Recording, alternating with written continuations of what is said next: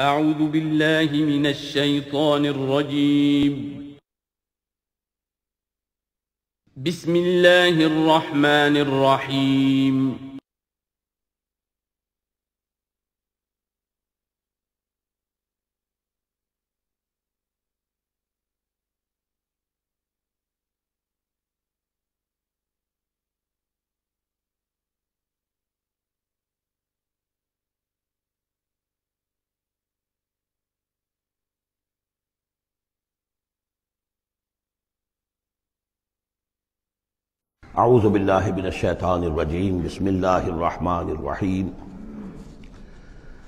खलक समावत वल्लर्द अल्लाह ने पैदा किया है आसमान और ज़मीन को हक़ के साथ यानी बामकसद है नतीजा खेज तख्लीक है ये बेनतीजा का कार अबस और बातिल नहीं है युकबरहार वो रात को लपेट देता है दिन पर वह युकबरहार आलैर और दिन को लपेट देता है रात पर अब ये जो है, कहीं यूलजुल्ला फिनहार आता है, कहीं युकवर आ रहा है तो ये मुख्तलिफ़ जो अल्फाज हैं, ताबीरात हैं। लेकिन मकसद क्या है कि ये दिन और रात है तो नहीं है। आपको मालूम है कि पूरा निज़ाम जो चल रहा है, इसी के हवाले से है, पूरा आलम नबातात का जो रेस्पिरेशन का निज़ाम है, वो इसी के साथ मुतल है। लिहाजा यहाँ कोई शय भी बेमकसद नहीं है। जब कोई शय बेमकसद नहीं है तो इंसान कैसे बेमकसद हो सकता है? किस लिए उसको पैदा किया? हदीस में जैसा कि आया कि नमक दुनिया खोलकत लकुम वन तुम खोलक तुम आखिरा। दुनिया तुम्हारे लिए बनाई गई, लेकिन तुम आखरत के लिए बनाए गए हो। जब तक कि आखरत का तस्वुर ना हो, फिर इंसान का, और ख़ास तौर पर इंसान में जो अखलाकी हिस्स है, एक मॉरल सेंस है उसके अंदर, कुछ चीज़ें अच्छी हैं, कुछ बुरी हैं, इसका एहसास है उसके अपने अंदर।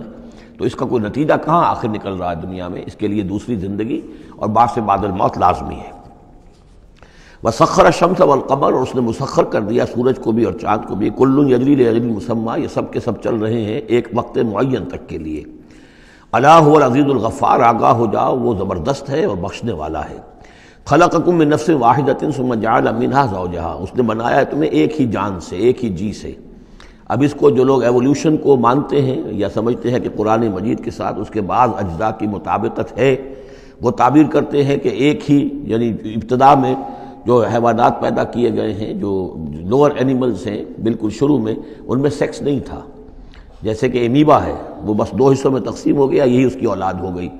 वो जो बाप कह लें, माँ कह लें, वो एक ही है। उसके बाद ऐसे भी पैदा हुए कि जिनमें एक ही जानवर में दोनों सेक्स हैं। ये जो राउंड वर्म होता है, राउंड वर्म जो जो बरसात में जो निकल आते हैं, बहुत लंबे लंबे से कीड़े, ये हर्बोफोराइट हैं इनके अंदर। मेल और फीमेल ऑर्गन्स दोनों एक के अंदर मौजूद होते हैं। इस तरीके से रफ्ता रफ्ता फिर डिफ्रेंसिएशन हुई। मेल अलहदा हो गया फीमेल अलहदा हो गए। खलकुम नफसिम वाहिदतिन सुमजाल मिन हा जहा उसी जान से उसका जोड़ा बनाया। वंजर लकुमिन सबानियत अजवाज। और तुम्हारे लिए आठ जोड़े उतार दिए तुम्हारे मवेशियों में से। आमतौर पर अरब में जो मवेशी मौजूद थे उनमें से ऊँट नर और मादा गाय नर और मादा इसी तरीके से भेड़ नर और मादा और बक, बकरी नर और मादा। ये जो हैं, उनके यहाँ यही मवेशी थे। समानियत आजवाज ये सूर्य अनाम में भी आ चुका है, वो आप हम हमें याद होगा। मिनल इबिल इसनैन व मिनल बकर इसनैन व मिनल माज इसनैन, ये वहाँ आ चुका है। यखलकुम फ़ी बतून उम्मातिकुम और वो तुम्हें पैदा करता है तुम्हारी माओं के पेटों में, खलकन बादा खलकिन। एक खल्क के बाद दूसरी खल्क, तखलीक के बाद मराहल हैं उसके। नुतफ़ा है अलका है मुजगा है मुखलका गैर मुखलका फिर उसको जो और फिर खलकन आखर, एक और ही तख्लीक है। उस पर मैं अर्ज़ कर चुका हूँ कि इस मौजू पर ज़रवा सलाम जो है कुरान मजीद का वह सूर्य का पहला रुकू है। फ़ी सलास, ये ज़िक्र यहाँ आया है। तीन पर्दों के अंदर तख्लीक हो रही है। यानी एक पर्दा, ये पेट की दीवार है, जो मर्दों की भी दीवार है, ये पेट की एबडोमिनल वॉल है। दूसरा पर्दा फिर जो यूट्रस है, रहम है, माँ का, उसकी मोटी दीवार है। तीसरी वो झिल्ली है जिसमें कि वो बच्चा जो है, जनीन लिपटा हुआ होता है। अब देखिए, ये भी ज़ाहिर बात है, उस वक्त जो है जेनेटिक्स भी नहीं पढ़ाए गए थे, ना ये पढ़ाई गई थी एम्ब्रियोलॉजी कुछ भी नहीं था। लेकिन फ़ी जुलमातिन सलास यही वजह है जो मैंने आपको बार बार बताया है कि कीथल मूर्ज जो कि एम्ब्रियोलॉजी पर इस वक्त दुनिया की सबसे बड़ी अथॉरिटी समझा जाता है। उसने माना है कि कुरान मजीद में जिस तरीके से ये बयान हुआ है वाक़ता हैरान यानी हैरान कुन है। तो तीन पर्दों के अंदर अल्लाह जैसा चाहता है बना रहा है। उसका मुँह कलम तो अल्लाह ही कर रहा है, शक्ल बना रहा है, उसकी जो भी कर रहा है। अब हम उसको तशबी तो नहीं दे सकते, लेकिन अल्लाह बना रहा है। यखलकुम फ़ी बुतून उम्मात वो बनाता है, तखलीक करता है तुम्हारी तुम्हारी माओ के पेटों में खलकन बाद खलकन, एक तरह से दूसरी तरह, एक एक दर्जे के बाद दूसरा दर्जा, फ़ी जुलमात सलास, तीन अधेरों में। ज़ालकुम रब्बकुम, वो है अल्लाह तुम्हारा रब। लहुल मुल्क, बादशाही भी उसी की है, ला इलाह अफाना तुसरफून, उसके सिवा कोई मबूद नहीं है तो किधर फेरे जा रहे हो, फिराए जा रहे हो। इन तकफरू फ़ैन फ़ैन अल्लाह गनी को अगर तुम कुफरान नेमत करते हो, कुफर करते हो तो अल्लाह गनी है। उसे तुम्हारी कोई ज़रूरत नहीं है, एहतियाज नहीं है। ये ना समझो कि उसकी सल्तनत में कोई कमी आ जाएगी। वला यरवाल बाद कुफर। लेकिन वो अपने बंदों से कुफर पर राज़ी नहीं है। इख्तियार तो उसने दिया है। इम्मा शाकिरम व इम्मा कफूरा। चाहो तो शुक्रगुजार बंदे बनो, चाहो कुफरान नेमत के रविश इख्तियार कर लो। चॉइस इज़ योर्स लेकिन ये जान लो, अल्लाह राज़ी नहीं है कुफर पर। राज़ी वो होता है, वह इन तस्करू यजलकुम अगर तुम उसका शुक्र करो, उसका, उसकी तारीफ़ करो, उसकी बंदगी करो, फिर वो तुमसे राज़ी होगा। वला तदर वाजर तुम इजरा उखरा। और नहीं उठाएगी कोई उठाने वाली जान किसी दूसरी जान के बोझ को। सुम्मा इला रब कुम मरजुकुम फिर तुम्हारा लौटना है, अब तुम्हारे रब ही की तरफ़ फ़युनब हुकुम बिमाकुन तुम तामलून। फिर वो तुम्हें बता देगा मुतनबे कर देगा, जो कुछ के तुम करते रहे थे। इन नहू अलीम बेजात सदूर यकीन वो जानने वाला है, सीनों के अंदर छुपी हुई बातों का भी, जो राज हैं तुम्हारे सीनों में। वैज़ा मसल इंसान दुर्रुंदार अब्बहू मुनीबन और जब इंसान को कोई तकलीफ़ पहुँचती है, वो अपने रब को पुकारता है दुआएँ करता है, उसकी तरफ़ रुजू करते हुए। सुम्मा इज़ा खव्वलहू नेमत मिन हो और जब अल्लाह ताला उसको उड़ा देता है, उसके गिर्द अपनी नेमत का खौल ले आता है खव्वलहू उसे लपेट लेता है अपनी नेमत में। नसिया माकाना यदू बिलकबल तो जो पहले वो जिस जिस चीज़ के लिए अल्लाह से दुआएँ कर रहा था, सब भूल जाता है। वजाल अंदादा। और इससे उससे भी बढ़कर जो करता है शरारत, वो ये है कि अल्लाह के मुद्दे मुकाबिल ठहरा लेता है। ले युदिल्लान सबील ही ताकि बहकाए लोगों को उसके रास्ते से। कुल तमत्ता। तो अल्लाह ताला की तरफ़ जा रहा है, नबी कह दीजिए, उठा लो कुछ, दुनिया के कुछ जो मज़े हैं, वो लूट लो, बेकुफर का अपने कुफर के साथ, कलीलन, लेकिन बहुत कम, चंद दिन की ज़िंदगी है, इसमें जो तुम्हें अयाशी करनी है, कर लो इन न कभी नसाब नार, फिर मुस्तकिल तौर पर तो तुम आग वाले हो, तुम्हें आग के अंदर झोंका जाएगा। अमन हुआ कान तुन आना लैल साजिदन और कायमन याहर आखिरत यरजू रहमत रबी इस सूरत में यह ख़ास उसलूब कई मरतबा आएगा। कि एक चीज़ को, एक जुमले को आगे नामुकम्मल छोड़ देते हैं कि उसे खुद इंसान पुर करे फिल इन दी ब्लैंक वो खुद ब खुद उसके अंदर मुकद्दर तो है, लेकिन उसको वाज तौर पर नहीं किया जाता। मसला उसकी मिसाल, और ये कई दफ़ा आएगा उसको अब मन हुआ कानतुन आना लैल भला भला वो शख्स कि जो खड़ा रहता है, बंदगी करता है, रात के वक्त भी साजिदन व कायमन कभी सजदे में पड़ा हुआ है, कभी खड़ा हुआ है। यह ज़रूर आखिरता, जो आखिरत से डरता रहता है, वह यरजू रहमत रब ही और साथ ही अपने रब की रहमत का उम्मीदवार भी है। बस आगे, कुछ नहीं। मुराद क्या है? क्या भला ये शख्स का मन हुआ गाफिल क्या बराबर हो जाएगा उसके जो गाफिल है? भला वो शख्स जिसकी कैफियत ये है कि वो फरमा बरदार है, रातों के औकात में भी, सज्जे में भी और खड़े होकर भी अल्लाह की बंदगी करता है, आखिरत का खौफ उसके दिल में है, लेकिन अपने रब की रहमत की उम्मीद भी है। कमन हुआ गाफिल क्या वो शख्स बराबर हो जाएगा उसके कि जो गाफिल है? कुल। कह दीजिए, हल यस्तवी लजीन यालमून व लजीन यालमून। क्या बराबर हो सकते हैं वो लोग के जो इल्म रखते हैं और वो के जो इल्म नहीं रखते? इन नमा यजत कर वलबाब हकीकी नसीहत और सबक तो हासिल वही करते हैं कि जो अक्लमंद लोग हैं। कुल या इबादी लजीन आमनू। देखिए, फिर आगे आइए। सीधा, या लजीन आमनू नहीं है, ये मक्की सूरतें हैं। बोल या इबादी अल्लाजीन आमनू। कह दीजिए नबी है मेरे वो बंदो, जो मुझ पर ईमान लाए हो इतकू रब्बकुम, अपने रब का तकवा इख्तियार करो। जिन चीज़ों से उसने रोक दिया रुक जाओ। और तुम्हारे अंदर उसकी रजा जुई रहनी चाहिए। दिल्लजीन अहसनूफी हादही दुनिया हसना। जो लोग नेकी की राह परविश इख्तियार करेंगे, एहसान की रविश इख्तियार करेंगे, उनके लिए इस दुनिया में भी भलाई है। वह अर्दुल्लाह वासिया और ज़मीन अल्लाह की बड़ी वसी है। अगर यहाँ रहते हुए तुम्हारे लिए तोहहीद पर कारबंद रहना मुमकिन नहीं है तो हिजरत करो। इन इंदमा युवफ़ साबिरून आज रहूँ बगैर हिसाब। यकीन साबिरों को, सब्र करने वालों को उनका अजर पूरा पूरा दे दिया जाएगा। युवफ़ा भी है, पूरा दे दिया जाएगा, फिर बगैर हिसाब भी। इसका मतलब है मजीद फजल जो होगा वो बगैर हिसाब होगा उसमें किसी हिसाब का सवाल नहीं। कुल इन्नी उम्र तो अब देखिए फिर वो जो शुरू का मजमून था ये इस, इस सूरत का अमूद है किस तरह बार बार आएगा अब। कुल इन्नी उम्र तो आबुदल्लाह मुखलसल्लहुद्दीन कह दीजिए नबी मुझे हुक्म हुआ है कि मैं अल्लाह की बंदगी करूँ उसके लिए अपनी इतात को खालिश करते हैं यहाँ मैं चाहता हूँ थोड़ी सी वजाहत कर दूँ। देखिए इबादत के आप यूँ समझिए कि एक इबादत का ज़ाहिर है और एक इबादत की असल हकीकत है। फिर यह कि एक उस हकीकत में भी एक रूह है और एक उसका जसद है। एक उसके रसूमात है। रस्म कहते हैं किसी शे की ज़ाहरी शक्ल। इबादत की रस्म जिसको मरासम इबादत कहते हैं, ये मरासम अबूदियत क्या है? जिसकी आप इबादत करते हैं, उसके सामने झुकते हैं, उसके सामने अदब के साथ खड़े रहते हैं। उसके कुछ हमद के तराने गाते हैं, उसके सामने सजदा करते हैं। इनको हम कहेंगे मरासम अबूदियत रस्म कहते हैं किसी चीज़ की ज़ाहरी शक्ल। ये हरूफ है और ये रस्म जो है, रस्मुल ख़त। इसी तरह ये कुरान और ये उसका रस्म उस्मानी है। इसका लिखा हुआ जाना जैसे कि ये रस्म ज़ाहिर है।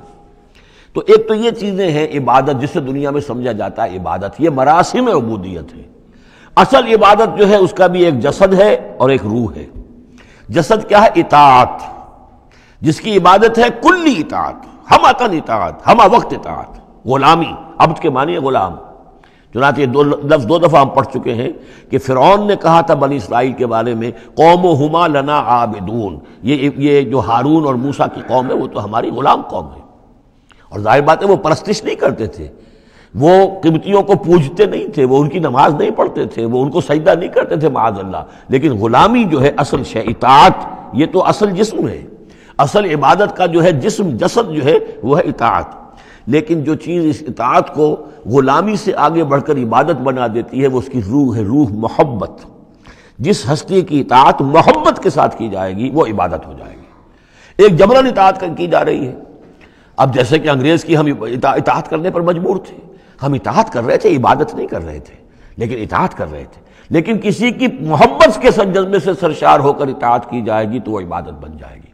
तो अल्लाह की इबादत के लिए जो भी डेफिनेशन उसकी इमाम इबन तैमिया और हाफिज इबन कैम उस्ताद और शागिर दोनों की है वो ये है कि इसके दो अज्जा हैं।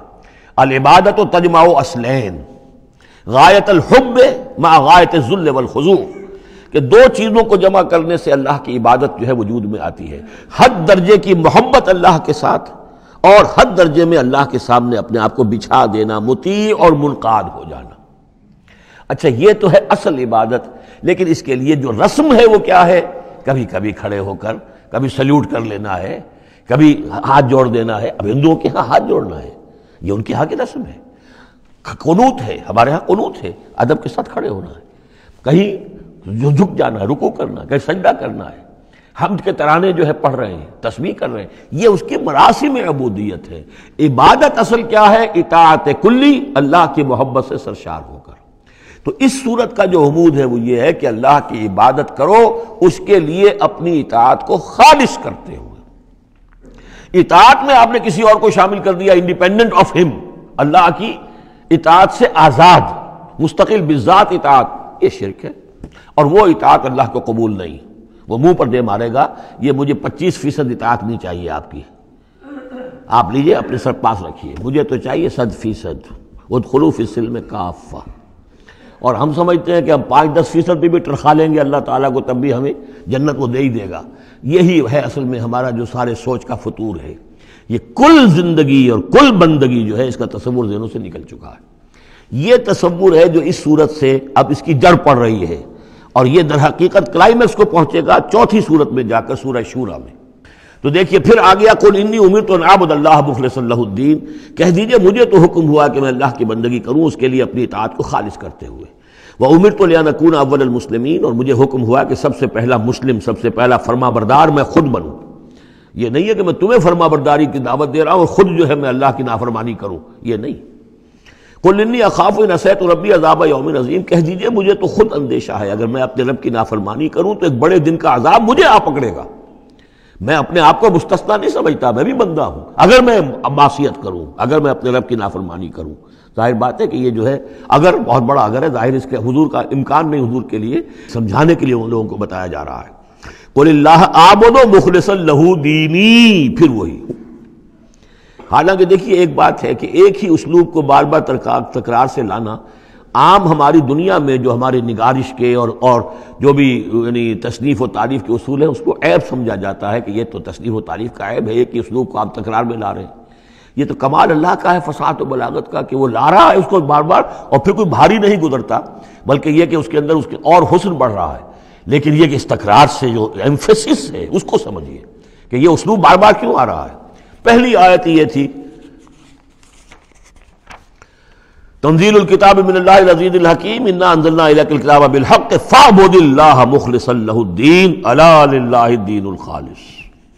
और उसके बाद अब आपने यहाँ देखा, आयत नंबर ग्यारह कुल्ली उमिर तो अनाबुल्लाह मुखलसल्लुद्दीन और फिर आयत नंबर चौदह कुल्लाह आबुदो मुखलसल्लुद्दीन कह दीजिए, मैं तो अल्लाह ही की बंदगी करता हूँ, उसके लिए अपनी इतात को खालिश करते हुए।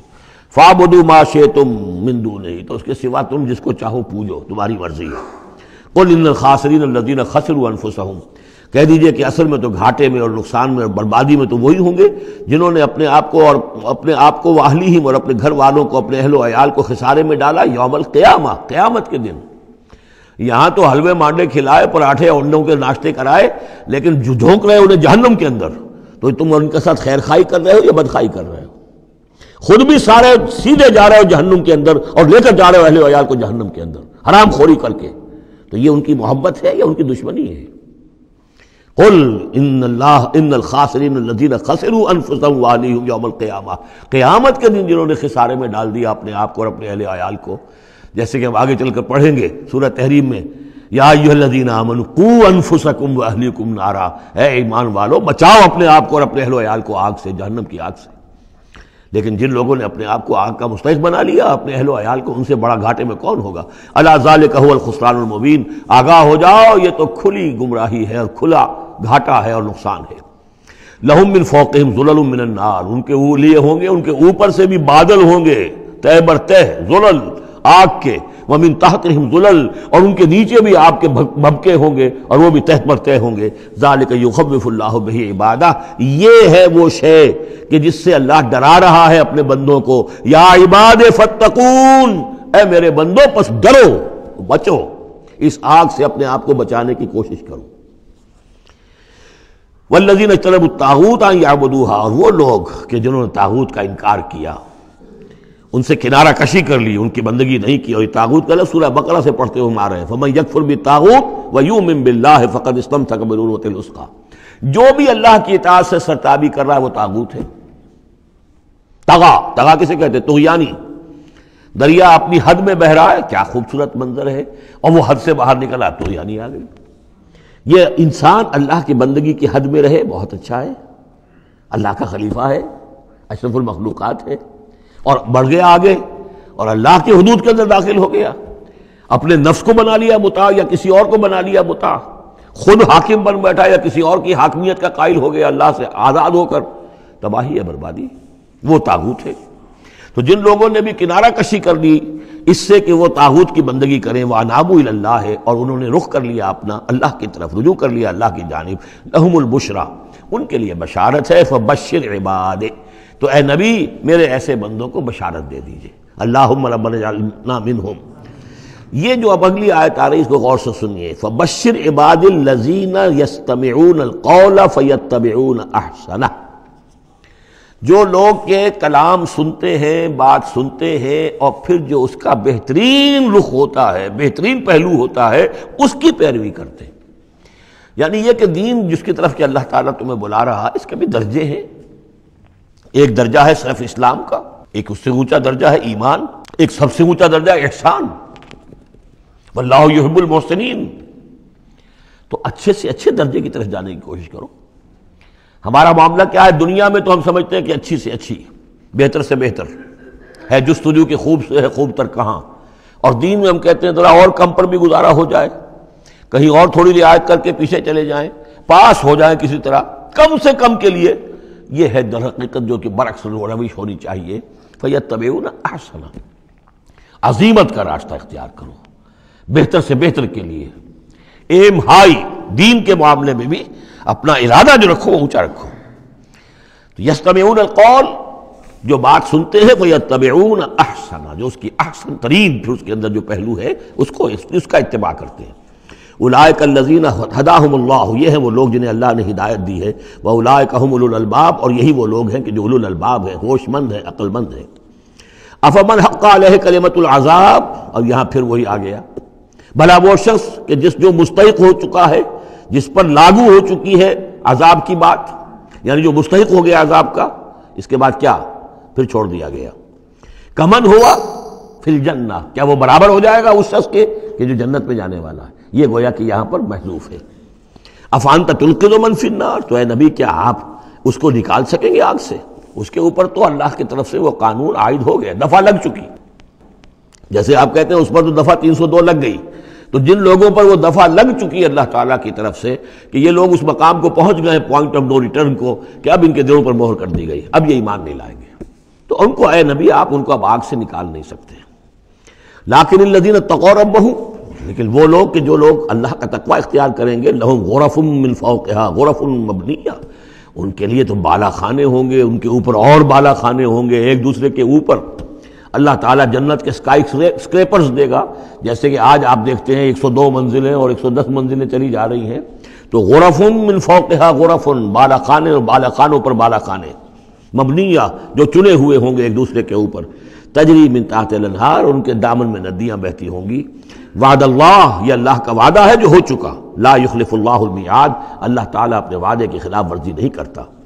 अलम तरासमाय मान क्या तुमने देखा नहीं कि अल्लाह ने उतारा आसमान से पानी? फसला कहूँ यनाबी या फिल फिर उसको चला दिया चश्मों की शक्ल में ज़मीन में। सुम युखर जो बेही ज़रान फिर उन्हीं के ज़रिए से निकालता है उसके ज़रिए से निकालता है। वो खेती को मुख्तलिफन अलवान हो जिसके रंग है मुख्तलिफ़ सुम यही जो फिर वो खेती जो है तैयार हो जाती है, बड़ी उसके शान शौकत होती है। फ़तरा हो मुसफर्रन, फिर देखते हो कि वो जर्द जर्दी माइल हो गई। सुम यजाल हो तामा फिर वो खेती कट गई, और अब यूँ समझिए कि वहाँ खाक उड़ रही है, या ये कि तूड़ी के को तिनके कहीं कहीं पड़े हुए नज़र आ जाएँगे चूड़ा हो गई इन नफीज़ाल का ज़िक्र अलबाब, इसी के अंदर है याद दहानी और सबक। होशमंद लोगों के लिए कि यही मामला तुम्हारा है। जब तुम पैदा होते हो तो जैसे खेती नई नई उपजती है तो किसान कितना खुश होता है। किसी के यहाँ बेटा पैदा हुआ, कितनी खुशी हो रही है। उसकी आमद को जो है, सेलिब्रेट किया जा रहा है। फिर वो जवानी को पहुँचता है। फिर उसके बालों में सफ़ेदी आई, आसाब जो है, और जो कवा कमज़ोर पड़े, और फिर उसके बाद वो कबर में उतार दिया गया मिट्टी होकर मिट्टी में फिर मिल गया। तो ये life cycle human life cycle बस ये है कि ये पचास, साठ, तीस, चालीस बरस का है, वो चंद महीने के अंदर अंदर सब कुछ हो जाता है। साइकिल वही है। वो भी लाइफ है, ये भी लाइफ है। The plant life and animal life biology की ये दो शाखें हैं। बॉटनी है तो मतलब biology life the science of life उसके दो दो दो हिस्से हैं। बॉटनी है जोलॉजी है। हैवानात की लाइफ और नबातात की लाइफ अफमन शरह अल्लाह फिर वही हज़रत का मौजूद का असलूब आ रहा है। अफमन शरह अल्लाह फ़हु आला नूर रबी भला वो शख्स कि जिसके सीने को अल्लाह ने खोल दिया हो इस्लाम के लिए, और वह अपने रब की तरफ़ से नूर पर है अंदरूनी बसीरत उससे हासिल है। अंदर उसका जगमगा रहा है अल्लाह के ईमान के ज़रिए से, और जो बसीरत अल्लाह ने उसे अता कर दी है। अब फिर आगे इसको छोड़ दिया गया। क्या मतलब है? अफमन शरह सदर इस्लाम फहुआ नूर रब ही जो अपने नूर, जो अपने रब की तरफ़ से नूर के पर है। कमन हुआ फिर जुलमात, क्या वो उस शख्स के मानंद हो जाएगा जो अंधेरों में भटक रहा है? लेकिन नहीं, उसको यहाँ दर्ज नहीं किया। फ़वैलकासियत कलूब हम तो हलाकत और बर्बादी है उन लोगों की, जिनके दिल सख्त हो चुके हैं मिन ज़िक्र अल्लाह के ज़िक्र से। यानी इतने सख्त हो चुके हैं कि उनमें गुदाज ही नहीं है। उनमें अल्लाह के लिए कोई शौक ही नहीं है। अल्लाह को याद करने का कोई शौक ही नहीं है। उनके दिल सख्त हो चुके हैं, उनके लिए हलाकत और बर्बादी है। उलाय कफ़ी दलाली मुबीन यकीन ये लोग हैं खुली गुमराही में, भटके हुए हैं। अल्लाह नजल अहसन हदीस किताबन मुतशाबहन।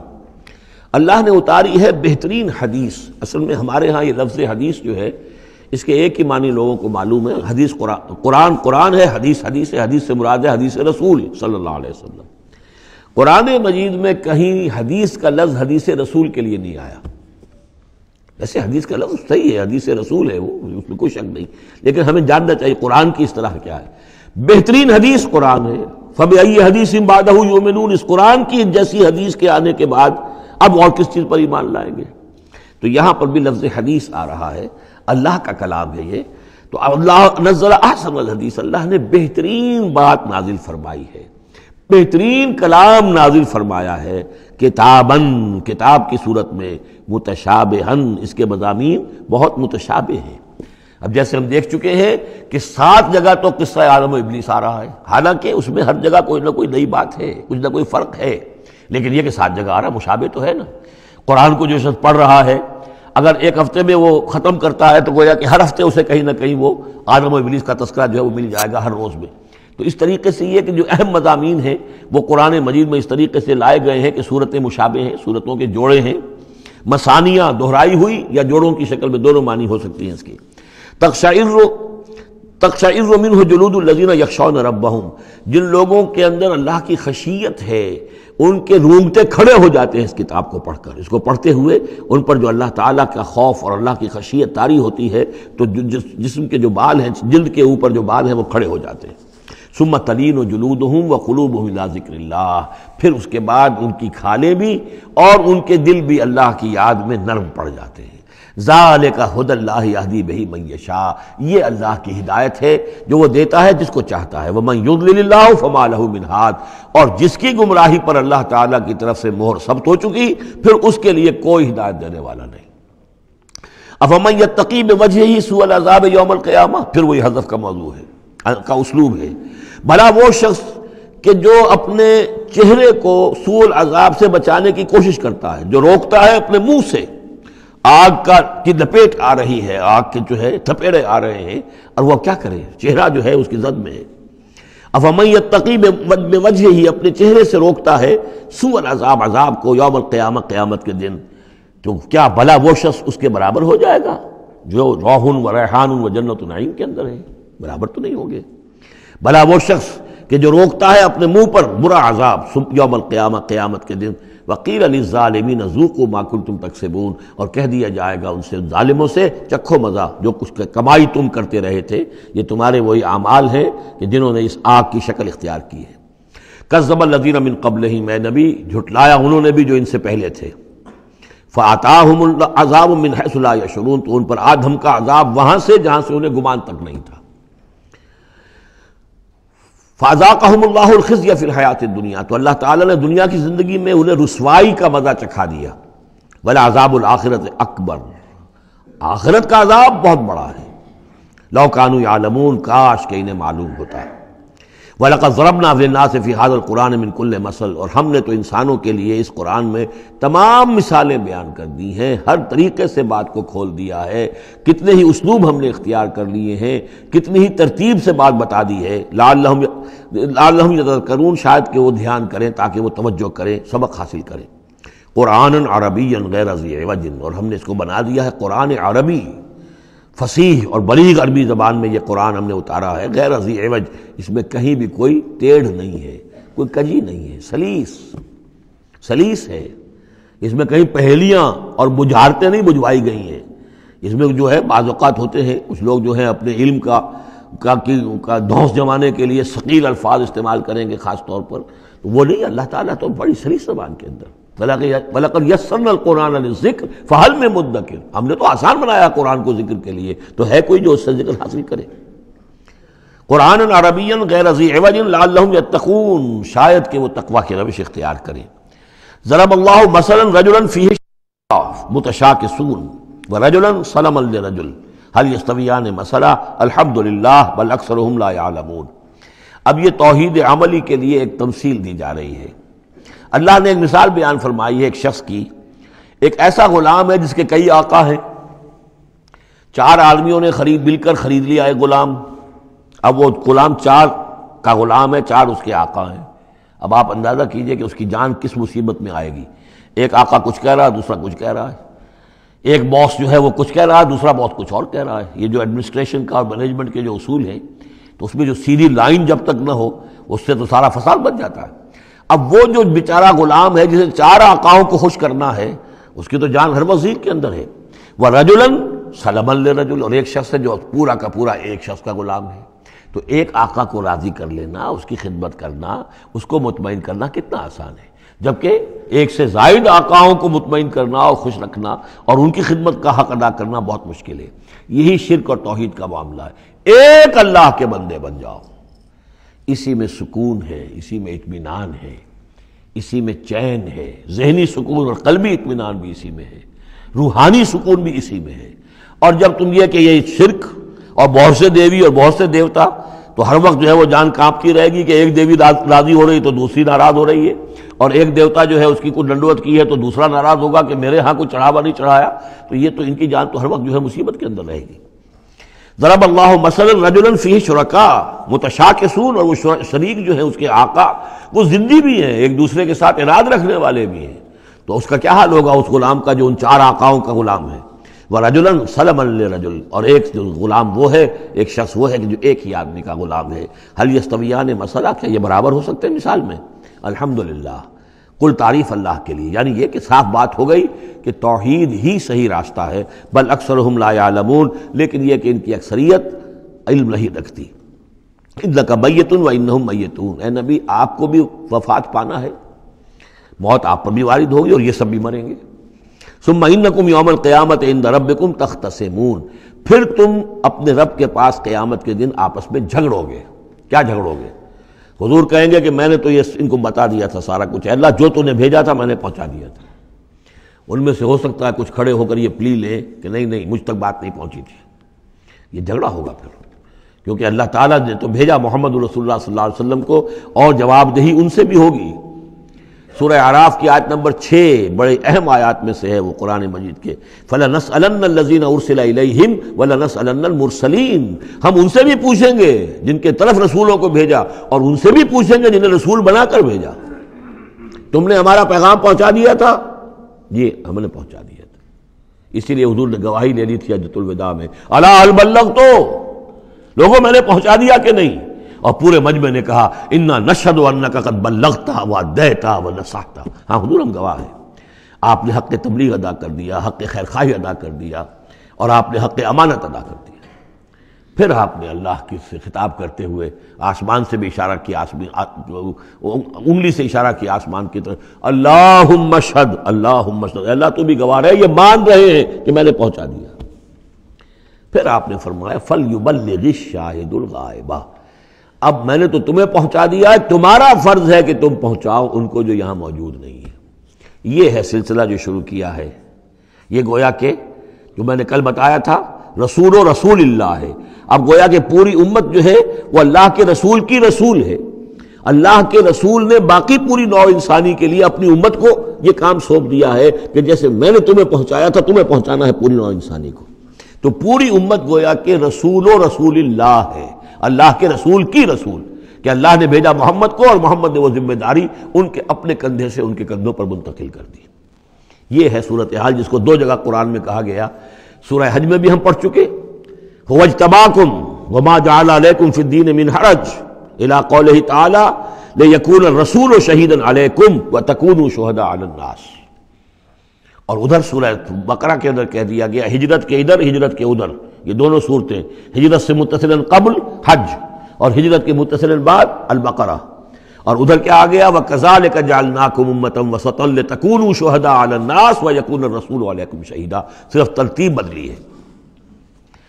फमन अजम मिमन कजब अल्लाह व कजब बिसिद के जा, उस शख्स से बढ़कर जालिम कौन होगा जो अल्लाह पर झूठ बांधे, झूठ कहे। उसे कोई वही ना आई हो और वो कहे कि मुझ पर वही आई है। वह कजब अब सिद्क। या और, ये एंड और, ये दोनों जमा कीजिएगा, वो बाद में बताऊँगा। वह कजब अब और झुटलाए सच्ची बात को जबकि उसके पास आ गई। ये दोनों एक शख्स के किरदार भी हो सकता है कि वह अल्लाह पर झूठ तोहमत जो है, जड़ रहा है और खुद जो है जो अल्लाह की तरफ़ से हक आया है, उसकी नफी कर रहा है तरदीद कर रहा है। और ये दो अशखास भी हो सकते हैं कि एक तो वो सबसे बढ़कर जालिम है कि जिस अस को वही ना आई हो और वो कहे कि वही आई है। इसने कोई बात अपने जी से घड़कर अल्लाह की तरह मंसूब कर दी। तो ये कि उससे बढ़कर जालिम कोई नहीं हो सकता। तो इसी तरह उसी दर्जे का जालिम वो है कि जिसके पास अल्लाह का कलाम आ जाए, सिद्क आ जाए, सच्चाई आ जाए वो उसको जुटला दे। अल सफ़ी जहन्नम मसवल काफरीन। तो क्या जहन्नमी में ठिकाना नहीं है ऐसे काफिरों का? अब इसके बरक्स देखिए वल्लजी जाब सिद्क व सदका भी यहाँ भी ये दोनों एहतमाल हैं। और वो शख्स के जो लाया सच्चाई और वो शख्स के जिसने सच्चाई की तस्दीक की यह भी एक ही शख्स भी हो सकता है कि किसी शख्स के किरदार में दोनों पहलू हैं। वो राष्ट्रबाज है खुद भी उसका सारा मामला रास्ती पर है। और फिर यह कि जो रास्ती जो रा, जो हक उसके सामने पेश किया जाए फ़ौरन कबूल भी करता है तस्दीक भी करता है। लेकिन यह कि आमतौर पर ख्याल ये है कि वल्लजी जा बिसिद से मुराद यहाँ मोहम्मद वसल्लम, जो लाए हैं सच्चाई अल्लाह की जानब से। और वह सदका बही से मुराद हज़रत अबू बकर हैं रज़ी अल्लाह तहो जिन्होंने उस सच्चाई की तस्दीक की है। वह जाब के व सदका बही उलाकमतकून यही लोग हैं जो कि मुत्तकी हैं। लहू आयशाउन इंद रबहिम इनके लिए जो कुछ ये चाहेंगे, इनके रब के पास वो उनको दे दिया जाएगा, फराहम कर दिया जाएगा। जाल का जजाउल मोहसिन यही है नेकी, नेकोकारों का बदला। ले युकफिर असवाल लजी आमिलू वजजियाहम अजरहम बेहसन लदी कानू यामलून। ताकि अल्लाह ताला उनके वो अमाल जो बुरे हैं, वो तो उनसे दूर कर दे। यानी ज़ाहिर बात है कि अम्बिया तो खैर मासूम है, उनसे तो किसी गलत बात का जो है, अगर कोई इम्कान पैदा होता भी है बिनाए बर बिनाए तब बशरी तो अल्लाह ताला महफूज कर लेता है और उसका सुदूर नहीं होने पाता। बाकी तो हर शख्स से खतई खता हो सकती है, गलती हो सकती। है तो अल्लाह ताला जो है, उनके जो बुरे अमाल होंगे, उन्हें तो दूर कर, हटा देगा नामा अमाल से धो देगा। कोई लफ्जिश है, किसी वक्त कोई खता हो गई है, कोई ऐसी शय है कि जो उनके यहाँ नापसंदीदा है, उनके किरदार में है, अल्लाह उसे दूर कर देगा, धो देगा। वह यजियाहूम अजरहूम कानू और उनका जो जजा उनकी मुन करेगा, वो उनके बेहतरीन अमाल के हिसाब से करेगा। ज़ाहिर बात है, हर नेकोकार के तमाम अमाल एक जैसे नहीं होते, नेकी के भी दर्जात हैं। ऊँचे दर्जे की नेकी, उससे कमतर दर्जे की नेकी, उससे कमतर दर्जे की नेकी। लेकिन अल्लाह जब उसकी जजा का मामला तय करेगा, मकाम और मरतबा तो उसके बुलंद तरीन जो अमाल है, उसके हिसाब से अल्लाह ताला उसे जन्नत में मकाम अता फरमाएगा। जो बुरे हैं, उनको धो देगा, पाक कर देगा। वल्लजी जाब सिद्क सदक भी उलाय लहुम माशाउन इंद रबिम ज़ालिक जज़ाउलमोहसिन ले युकफ़िर अल्लाहु असवाल लजी अमलू, व अमलू वजज़ियहुम अजरहुम बेअसन लजी कानू यामलून। अलैहिस्सल्लाहु बेकाफिन अब्दा? क्या अल्लाह काफ़ी नहीं अपने बंदे के लिए, अपने बंदे की मदद के लिए, अपने बंदे की हिफाजत के लिए? ये सवालिया निशान है हकीकत में। ये उस पर ज़ोर देने के लिए अल्लाह काफ़ी है। ए नबी आप और ए मुसलमानों तुम मुतमिन रहो। तुम्हारी हिफाजत, तुम्हारी मदद उसके लिए अल्लाह काफ़ी है। भाई खबफून कबिल नजीर अमिंदू नहीं और ये तुम्हें डराते हैं। ए नबी, ये तो आपको भी डराते हैं। उनसे कि जो इसके अलावा है, अल्लाह के अलावा। हमारे मबूदों की कोई फिटकार पड़ेगी तुम पर। जैसे कि हज़रत इब्राहिम को डराया था सूर्य नाम के अंदर हम पढ़ आए हैं। कि तुमने सारे मबूदों की नफ़ी कर दी अब जरा इंतज़ार करो अब तुम पर जो बीतेगी और उनकी फिटकार पड़ेगी तुम पर उनकी तरफ़ से तुम पर पकड़ आएगी। उन्होंने कहा तो मुझे किससे डराते हो? बदबख्तो डरना तुम्हें चाहिए तुम अल्लाह के साथ शरीक कर, करते हो। मुझे तो कोई डर नहीं है। इसी तरीके से कहा कि ये डरा रहे हैं नबी आपको बिल नजीर मिंदू नहीं उनके बारे में उनसे उनके उनसे डरा रहे हैं कि जो अल्लाह के सिवा इन्होंने मबूद बना रखे वम युद्दफ़मा हाथ और जिसको अल्लाह ताला गुमराह कर दे, जिसकी गुमराही के ऊपर मोहर लगा दे, फिर उसके लिए कोई हिदायत देने वाला नहीं। वह यादिल्लामिन और जिसको अल्लाह हिदायत दे दे, फिर उसे गुमराह करने वाला कोई नहीं। अल्लाह बेज़ीज़ इंतकाम तो क्या अल्लाह ताला ज़बरदस्त नहीं है? इंतकाम लेने वाला। वाला इंसालता हूँ मन खलक समावत अल्लाह। और जब ये आप इनसे अगर पूछेंगे, किसने पैदा किया आसमानों और ज़मीन को? वो कहेंगे अल्लाह ने। कोला फ़राए तुम मातनूर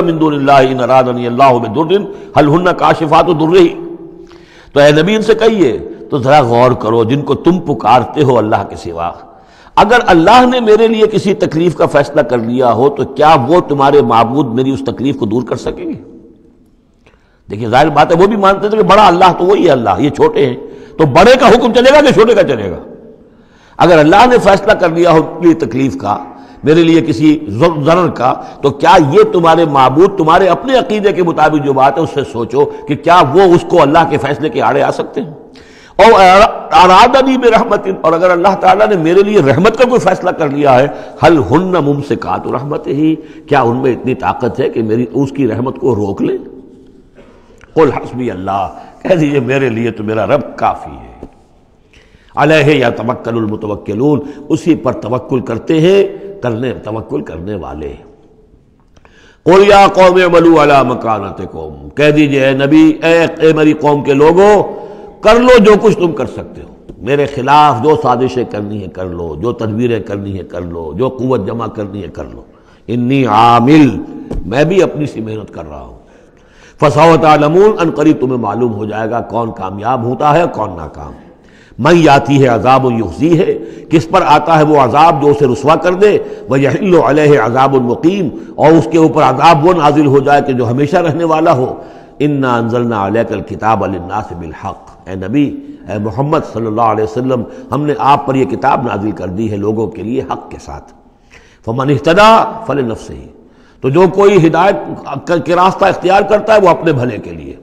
वमन जल्ला फ़नमा यदिल्ला और जो गुमराही इख्तियार करता है तो उसका सारा वबाल उसी के ऊपर आएगा। वमान तम वकील और आपको इनके ठेकेदार नहीं है, जिम्मेदार नहीं है मसूल नहीं है।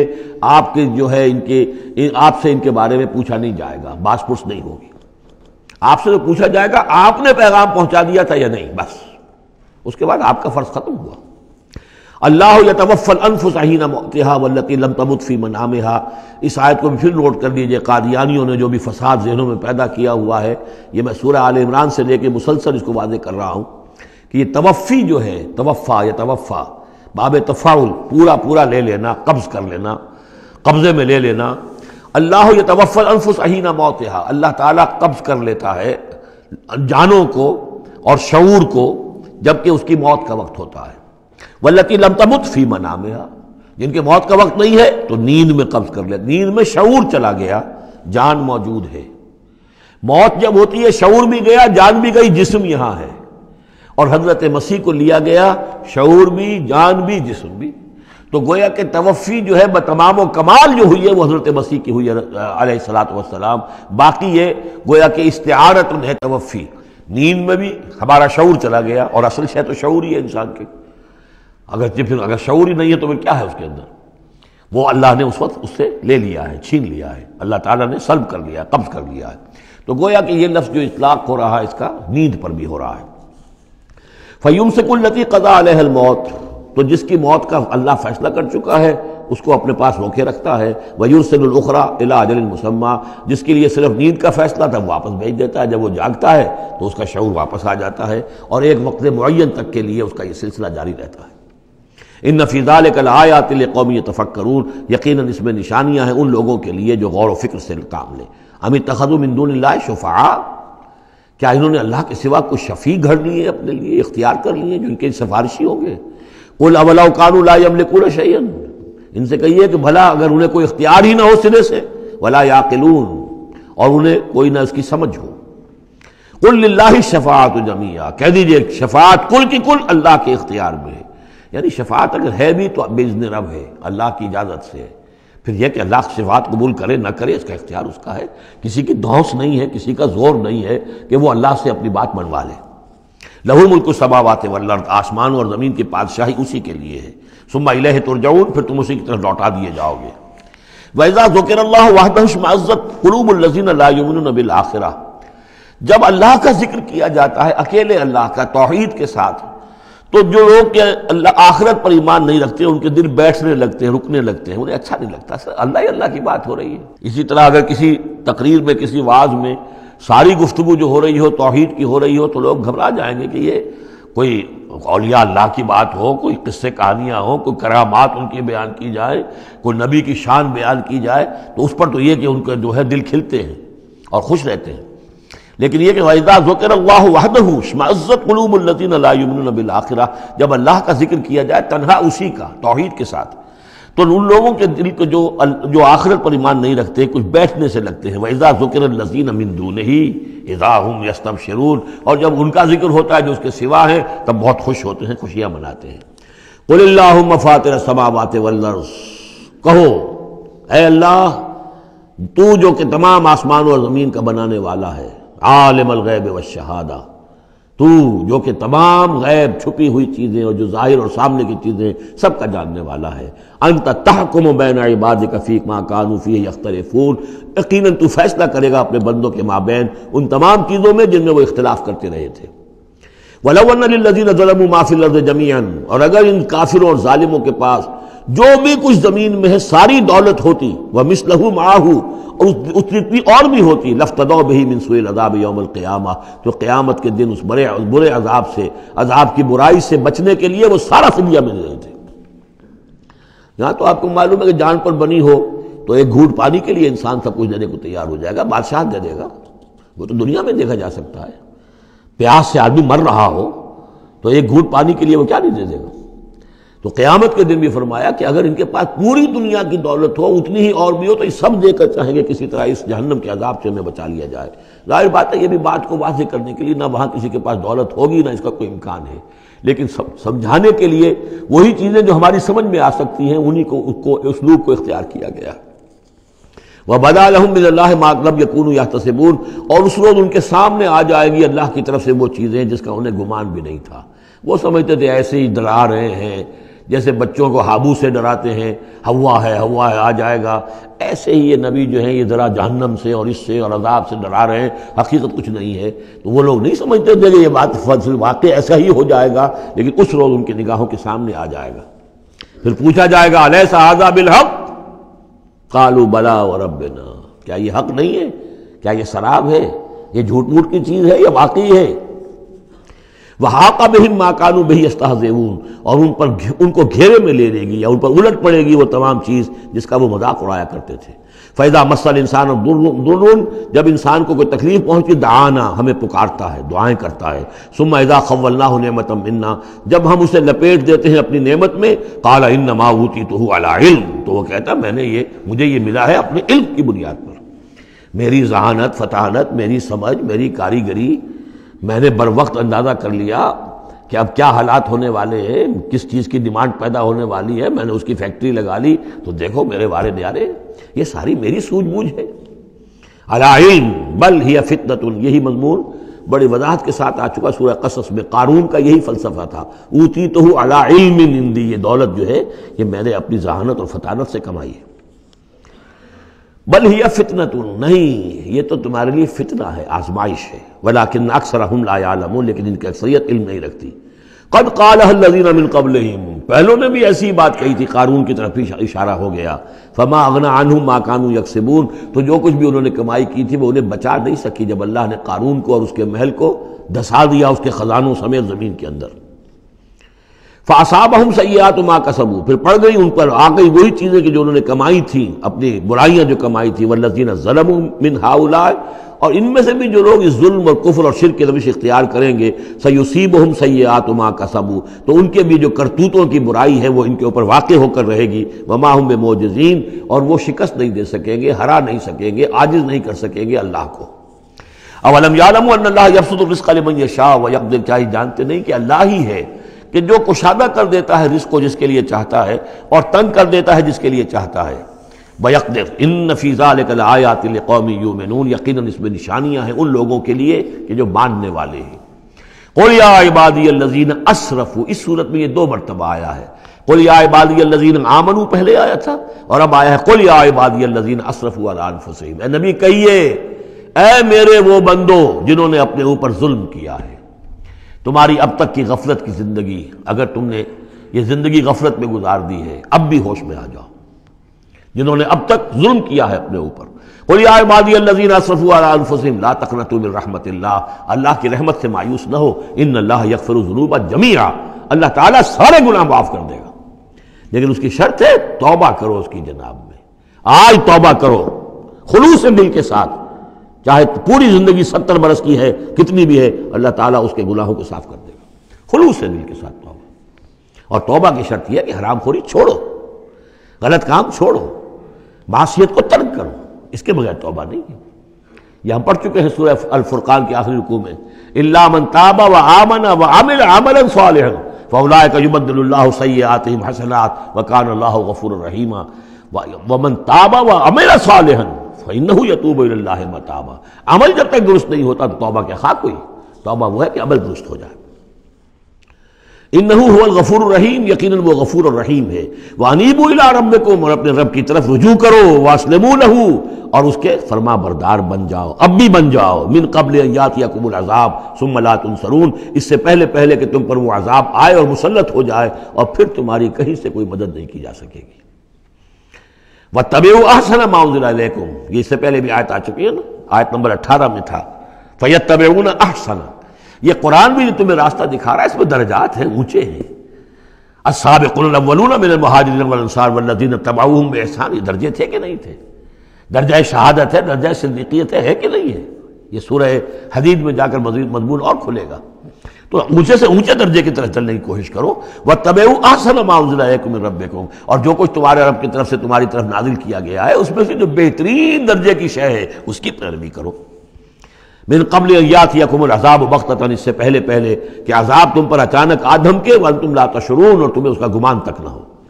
अनतकूल नफसुन। मबादा, फिर उस वक्त कोई जान ये कहे, या हसरत मा फर्रत फ़ी जम्बिल्ला हाय मेरी हसरत। हाय अफसोस, मुझसे जो कोताही हुई अल्लाह की जनाब में। अल्लाह के हुकूक को तो मैंने पहचाना ही नहीं। अल्लाह का दीन मगलूब और मैं लगा हुआ दुनिया के धंधों में अपने ज़्यादा से ज़्यादा कमाने में और ऐश, और अपने स्टेटस और वो स्टेटस सिंबल ही को माबूद बना रखा है। उसी में अपना पूरा तन, मन, धन लगा दिया है। जबकि अल्लाह का दीन मगलूब पड़ा हुआ है। और मैंने उसकी कोई मेहनत नहीं की, मैंने कोई कोशिश नहीं की। या हसरता अंतकूल नफसून, के कोई जान कहे उस दिन, या हसरता, हाय अफसोस अलामा फर्रतफ़ी जम्बिल्ला जो अल्लाह के जनाब में, अल्लाह की जानब मुझसे जो कोताही हुई, मैंने कमी की। इन कुंता लमिन सागरीन और वो जो काफिर थे, वो तो मैं तो रहा इन कुन तो लमिन साग मैं तो मज़ाक ही समझता रहा, मैंने कभी संजीदगी से लिया ही नहीं बात को। I never took it seriously और तकूल अदानी लकुन तो मिनलमुत्तकीन या तुम कहो कि अगर अल्लाह ने हिदायत दी होती तो मैं भी हो जाता मुतकी गोया कि यहाँ अपने उस चॉइस की नफी कर रहे हो। अल्लाह ने तुम्हें अशरफुल मखलूक़ात बनाया और तुम्हें इख्तियार दिया था। इम्मा शाकिर इम्मा कपूरा और तकूल ही न अजाब या वो कहे जबकि वो अजाब को देखे लव अन्नली कर रतन फाकून अमिल मोहसिन अगर मुझे लौटना नसीब हो जाए किसी तरीके से एक दफ़ा अगर मुझे दोबारा लौटा दिया जाए फिर तो मैं मोहसिन में से हो जाऊँगा। फिर सिर्फ़ मुतकी नहीं सिर्फ़ मुस्लिम नहीं सिर्फ़ मोमिन नहीं मोहसिन पे मैं शा, शामिल हो जाऊँगा। भला क्यों नहीं? कद जात का आयात ही। आई थी तेरे पास मेरी आयात।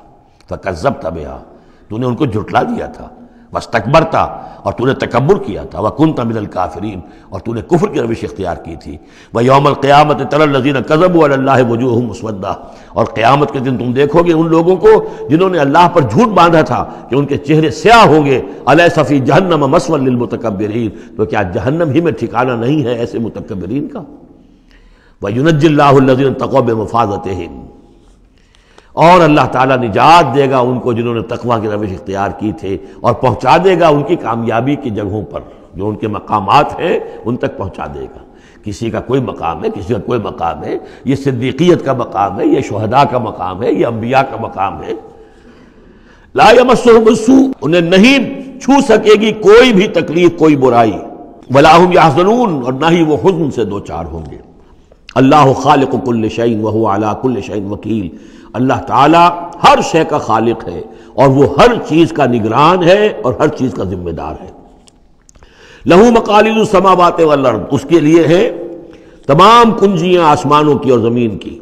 वल्लजीन कफर आयात कहमुल खासरून। और जिन लोगों ने अल्लाह की आयात का इनकार किया, वही है तबाह होने वाले और घाटे में रहने वाले।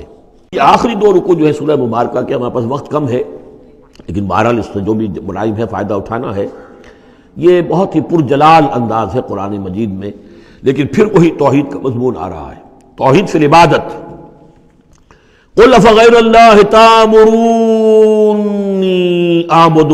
जाहिलून। ये अंदाज जो है कुरान मजीद में कहीं और नहीं मिलेगा। ए नबी कह दीजिए, ए जाहिलो, क्या तुम मुझे भी ये मशवरा दे रहे हो कि मैं अल्लाह के सिवा किसी और की बंदगी करूँ?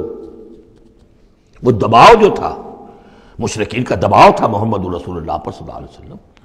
कुछ तो कंप्रोमाइज कीजिए, कुछ तो ले दे के मामला कीजिए, कोई एक आध महबूद हमारा भी माने, बाकी आपको हम मान लेंगे, अब आपको बादशाह भी मान लेंगे, बाकी जो आप कहेंगे हम करेंगे, लेकिन यह कि कुछ तो आखिर हमारे साथ भी, कुछ तो आप गिव एंड टेक होना चाहिए। तो वो, अब उनका जवाब इस अंदाज में दीजिए।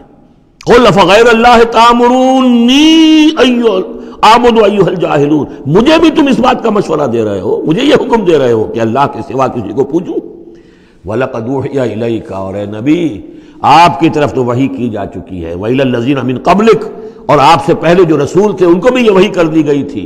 से सुनिए, लाइन अशरकता ए नबी, अगर आप भी बिल फ़र्ज़ बिल फ़र्ज़ शिरक करेंगे लह बतन अमलुक, आपके भी सारे अमाल हफ्त हो जाएँगे। वला तकून मिनल खासरीन, और आप भी नहायत खिसारा पाने वालों में से हो जाएँगे। कानून खुदाबंदी बलन तजद सुन्नत तहवीला। असल में ये सख्ती सारी हुजूर की तरफ़ नहीं है। ये मुशरकिन से, खिताब उनसे नहीं, बज़ाहिर हुजूर से है। लेकिन बताया जा रहा है कि ये मामला ऐसा नहीं है ये तो ऐसा कानून है हमारा जो किसी के लिए भी नहीं बदलेगा। जो भी शिरक करेगा, उसके साथ हमारा कोई मामला नहीं। कसे बाशत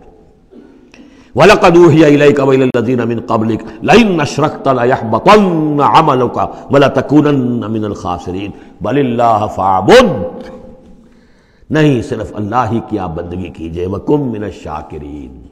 और बन जाइए उसके शुक्रगुजार बंदों में से। वमा कदर का कदर ही और इन्होंने अल्लाह की कदर न की जैसे कि उसकी कदर का हक था। उसकी कुदरत का अंदाज़ा न कर पाए, उसकी कुत का, कुदरत का कैसे कर सकते? लेकिन यह कि एक बात जहन में आनी चाहिए, अगरचे हम अल्लाह की कुदरत को नाप तोल नहीं सकते हम ना हम अल्लाह के इल्म को नाप तोल सकते कि कितना इल्म है। इसलिए कि हमारी जो तराजू है, वो तो सुनार की तराजू की तरह है, वो माशे तोले तो जो है वो तोल लेगी, लेकिन यह कि टनों को कैसे तोलेगी? तो हमारे जहन की तराजू जो है वो नहीं तोल सकती अल्लाह की। सिफात को भी नहीं हम जान सकते कि वो कितनी है, कैसी है। लेकिन एक बात जान लीजिए, अला कुल शैन कदीर। ये तो जान सकते हैं ना, हर शय पर कादिर है। लेकिन यह कि जिन लोगों का जहन जिससे भी आजिज आ जाता है वह मा कदर का कदर ही वल अर्द ज़मीन कब्जत हो यौमल क़यामत व समावत मतलिया तुम यमीन उसका एक तुम्हें झलक दिखा रहे हैं, उसकी कुदरत, उसकी आजमत कि तुम्हारी ये पूरी की पूरी ज़मीन उसकी एक मुट्ठी में होगी क़यामत के दिन। और ये आसमान उसके दाहने हाथ में लिपटे हुए होंगे। कोई अंदाज़ा कर सकते हो तो कर लो। हमें आसमानों का क्या पता है? हमें क्या गैलेक्सीज का क्या क्या तस्वुर है?